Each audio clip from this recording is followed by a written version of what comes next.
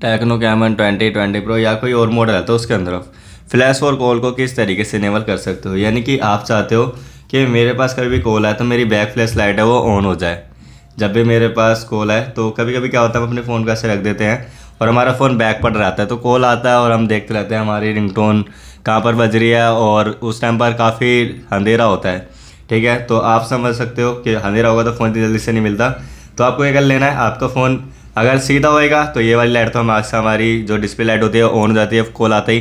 अगर आपका phone back होगा तो बैक फ्लैश लाइट जल जाएगी तो आपको पता लग जाएगा आपका फ़ोन कहाँ पर है।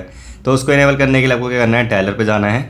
सेटिंग आइकन पर टैप करके यहाँ पर आपको मिल जाएगा फ्लैश फॉर कॉल आपको उसी से इनेबल कर देना है। जैसे इसको इनेबल करोगे, अब आपकी स्क्रीन इसका यूज़ कैसे होएगा मैं बताता हूँ।